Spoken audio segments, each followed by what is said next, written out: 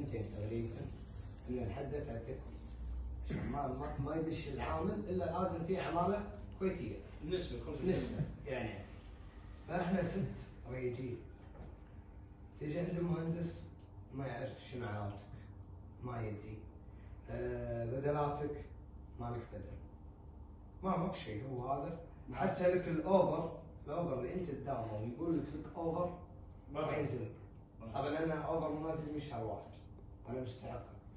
يعني رجال اداوم شفتات بدون بدل شفت وهم الأوفر مو قاعد ينزله وعندك بدل التذكرة مو قاعد ينزل أمور واجد مو قاعد تطبق أو بالأخص موظفين الحكومة. موظفين الحكومة نفسهم ما يدري أنت شنو لك يعني. هذه المشكلة هم من منو؟ من التكويت.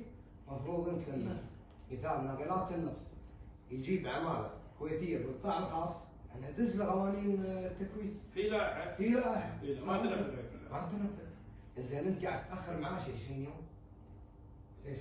اللي هي الشركة المقاول اي وما يتدخلون. ولا يتدخل. زين ارفع كتاب باسمه ارفع. ما يرفع. السبب زين. لا والله يمكن هذا غلط منه ما طلع. زين أنت الحين الشركة إياهم ان حتى لو ثلاث ثلاث شهور. ما تدز الفاتورة هم ينزل لك راتبك حد اقصى درجه اما أنت تتاخر شهر أنت الشركة